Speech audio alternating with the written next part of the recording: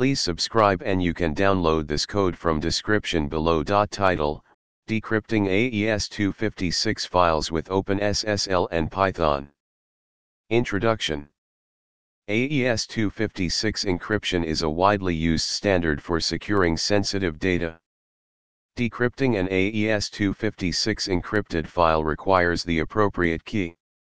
In this tutorial, we will explore how to decrypt an AES-256 encrypted file using both OpenSSL and Python, providing code examples for each method. Prerequisites Decrypting with OpenSSL Step 1 Install OpenSSL, if not already installed. Step 2 Decrypting a file using OpenSSL. Open a terminal, command prompt on Windows.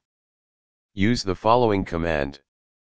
Replace encrypted underscore file dot in with the name of your encrypted file, decrypted underscore file dot text with the desired output file name, and your underscore secret underscore key with your actual AES256 encryption key. Decrypting with Python. Step 1 Install the cryptography library. You can install the cryptography library using pip. Step 2 Decrypting a file using Python.